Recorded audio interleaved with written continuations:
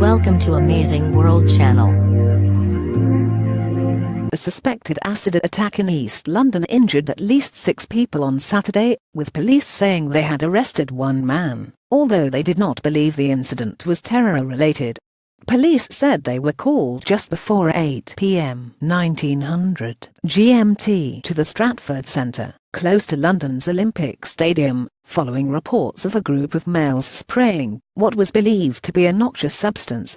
London Ambulance Service tweeted that they had treated at least five patients after sending paramedics and a fleet of ambulances.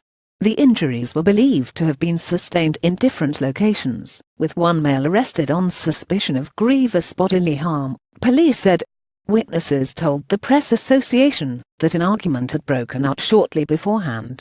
Burger King employee Hassan, 28, said the local homeless man came into the fast food outlet to wash acid off his face.